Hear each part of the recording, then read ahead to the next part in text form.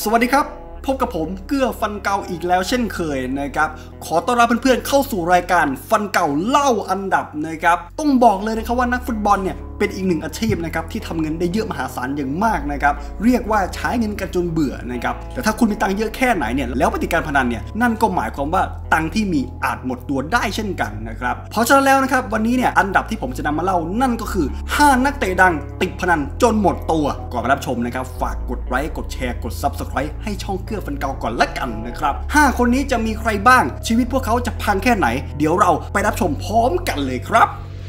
มาที่คนแรกของเราเลยนะครับ นั่นก็คือไอเดอร์กุดยอนเซนตำนานกองหน้าแห่งทัพสิงห์บลูเชลซีสัญชาติไอซ์แลนด์สำหรับพี่กุดยอนเซนนั้นนะครับ ต้องบอกว่าพี่แกเนี่ยเริ่มเข้าไปพัวพันกับการพนันในปี 2003 ซึ่งในขณะนั้นนะครับพี่แกเนี่ยค้าแข่งอยู่กับทัพสิงห์บลูเชลซีและในช่วงนั้นนะครับเป็นจังหวะที่พี่แกเนี่ยบาดเจ็บพอดีทำให้ต้องหยุดพักรักษาตัวนะครับและไม่สามารถลงซ้อมได้ พี่แกนะครับก็เลยแก้เบื่อด้วยการไปเล่นที่คาสิโนโดยคิดว่าเล่นแค่เพื่อฆ่าเวลาเท่านั้น แต่เล่นไปเล่นมานะครับมันดันเสียเยอะกว่าที่คิดนะครับจากการเล่นเพื่อแก้เซ็งกลายเป็นเซ็งกว่าเดิมอีกครับทีนี้ โดยพี่กุญยอนเส้นนั้นนะครับพี่แกบอกว่าระยะเวลาเพียง 5 เดือนเนี่ยพี่แกเนี่ยเสียพนันไปถึง 4 0 0 0 0 0 ปอนด์นะครับหรือราวๆประมาณ 16 ล้านบาท ต้องบอกว่าเงินจำนวนนี้เนี่ยสมัยนี้เนี่ยว่าเยอะแล้วนะครับแต่ถ้าเป็นสมัยก่อนมันจะถือว่าเยอะแค่ไหนนะครับสุดท้ายพี่แกก็เลิกเล่น และให้สัมภาษณ์ว่า ผมได้เห็นด้วยตัวเองแล้วว่าการพนันมันอันตรายขนาดไหน จากนั้นผมก็ไม่ย่างเท้าเข้าคาสิโนอีกเลย ผมเชื่อว่าพี่แกคงเข็ดไปอีกนานนะครับ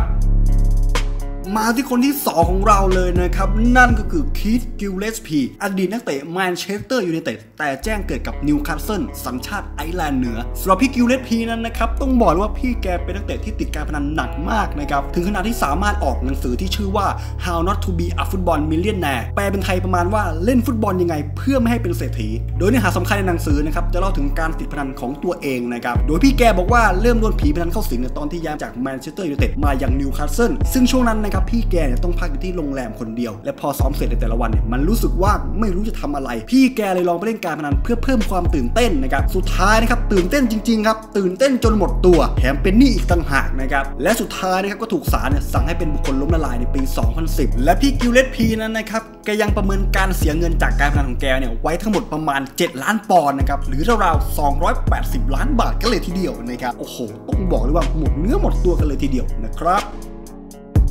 มาที่คนที่ 3 ของเรานะครับ นั่นก็คือพอลเมอร์สันตำนานกองกลางแห่งทัพปืนใหญ่อาร์เซนอลสัญชาติอังกฤษสำหรับพี่พอลเมอร์สันนั้นนะครับ ต้องบอกว่าพี่แกเนี่ยเป็นหนึ่งในนักเตะที่ประสบความสำเร็จอย่างมากกับอาร์เซนอลโดยพี่แกนั้นนะครับคว้าแชมป์มากมายหลากหลายรายการ แต่สำหรับชีวิตนอกสนามนั้นนะครับต้องบอกว่าพี่แกเนี่ยโดนพิษการพนันเล่นงานจนแทบจะลุกไม่ขึ้นนะครับไม่ว่าจะเป็นพนันบอลบาสเกตบอลสนุกเกอร์คริกเก็ตหรือกีฬาอะไรก็ตามเนี่ยพี่แกแม่งเอาหมดเลยครับและสุดท้ายแล้วก็เสียเงินประมาณ 7 ล้านปอนด์หรือราว280 ล้านบาทนะครับเท่านั้นยังไม่พอนะครับพอพี่แกเสียเยอะเนี่ยพี่แกก็เกิดสภาวะซึมเศร้านะครับและมีความคิดที่อยากฆ่าตัวตาย จนในที่สุดนะครับต้องเข้ารับการบำบัดอย่างจริงจัง และสุดท้ายนะครับจึงได้กลับมาเป็นผู้เป็นคนอีกครั้ง และปัจจุบันนะครับพี่แกก็ผันตัวเป็นผู้วิเคราะห์เกมทางสกายสปอร์ตและยังบอกอีกว่าการพนันเนี่ยคือฆาตกรที่อันตรายที่สุดในโลกตอนนั้นเนี่ยผมมีความคิดอยากฆ่าตัวตายแทบทุกวัน ต้องบอกเลยครับว่าพี่แกเนี่ยคงจะเข็ดไปอีกนานกันเลยนะครับ มาที่คนที่ 4 ของเรากันเลยครับ นั่นก็คือเดวิดเบลลี่ อดีตปีกขวาแห่งทัพกุหลาบไฟแบล็กเบิร์นโรเวอร์สสัญชาติอังกฤษสำหรับพี่เบลลี่นั้นนะครับ ต้องบอกว่าพี่แกเนี่ยเกือบไม่ได้เข้าสู่เส้นทางฟุตบอลอาชีพกันแล้วนะครับ เพราะในช่วงวัยรุ่นเนี่ยพี่แกแม่งโคตรจะติดการพนันเลยครับ โดยพี่แกนะครับบอกว่าในตอนทุกเช้าที่ตื่นขึ้นมาเนี่ย สิ่งแรกที่คิดถึงนั่นก็คือการพนัน และเรื่องฟุตบอลเนี่ยกลายเป็นรองไปเลยนะครับ โดยพี่แกนะครับเริ่มเล่นจากหลักหน่วยนะครับไปหลักร้อย แล้วก็ไปสู่หลายพันปอนด์นะครับ โดยในบางวันนั้นนะครับพี่แกเนี่ยแทงพนันเป็นร้อยครั้งนะครับ ไม่ว่าจะเป็นพนันแข่งม้าแข่งสุนัขอเมริกันฟุตบอล หรือโป๊กเกอร์ออนไลน์ พี่แกแม่งเอาหมดเลยครับ จนสุดท้ายก็นั่นแหละครับเสียมากกว่าได้ และทางครอบครัวก็ได้รับรู้นะครับถึงการติดพนันอย่างหนักของพี่แก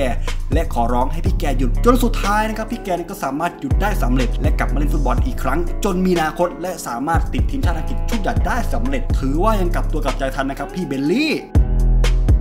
และก็มาถึงคนสุดท้ายของเรานะครับ นั่นก็คือดีทมาร์ฮามันน์ อดีตห้องเครื่องพันธุ์แกร่งแห่งทัพหงส์แดงลิเวอร์พูลสัญชาติเยอรมนีสำหรับพี่ฮามันน์นั้นนะครับ ต้องบอกเลยว่าต่างจากคนอื่นๆมากนะครับ เพราะคนอื่นเนี่ยเขาติดพนันกันช่วงวัยรุ่น หรือวัยอยากรู้อยากลอง แต่พี่แกนะครับดันมาติดพนันในช่วงปลายอาชีพ ในวัยที่ต้องบอกว่าแก่ตัวแล้วนะครับโดยจุดเริ่มต้นนะครับมาจากการหย่ากับเมียนะครับทำให้พี่แกเนี่ยเกิดความเครียดนะครับเกี่ยวกับปัญหาในชีวิตพี่แกเนี่ยเลยหาอะไรที่มาคลายเครียด นั่นก็คือการพนันนะครับนะครับ โดยพี่แกนั้นนะครับบอกว่าพี่แกเนี่ยแทงพนันสารพัดอย่างนะครับแล้วก็หมดเงินไปไม่น้อยนะครับจนกระทั่งมีอยู่คืนนึงนะครับซึ่งพี่แกเนี่ยเสียพนันคริกเก็ตแมตช์เดียวนะครับสูงถึง 2 0 0 0 0 0 ปอนด์นะครับหรือราวประมาณ 8 ล้านบาท นั่นทำให้พี่แกนะครับคิดได้และเลิกเล่นการพนันในที่สุด และพี่แกนะครับยังบอกอีกว่าคืนนั้นเนี่ยผมรู้สึกเหมือนโดนถลกหนังหัวเลย วันต่อมาเนี่ยผมเห็นเหมือนคนบ้าอยู่ในกระจก ซึ่งนั่นก็คือผมเองนั่นแหละ และผมก็พูดว่าดิดดี้มันถึงเวลาต้องเปลี่ยนตัวเองแล้วล่ะ และนั่นแหละครับก็ถือว่ายังโชคดีนะครับที่พี่แกยังคิดได้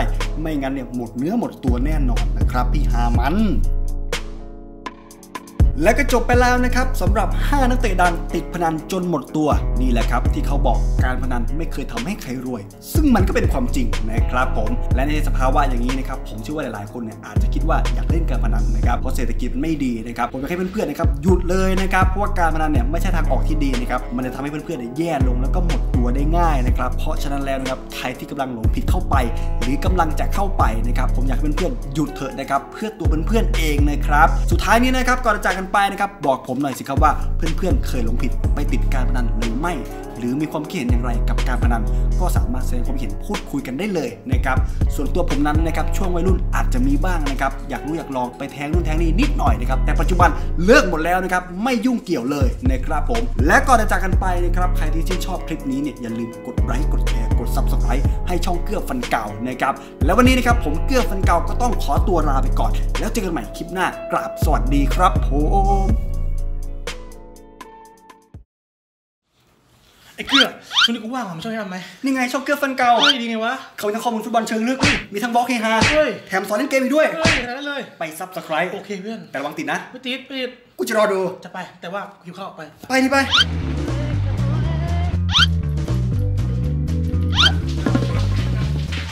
ไหนมึงบอกไม่ติดไงวะ กูไม่ติด กูแค่ดูตลอดแล้วเฉย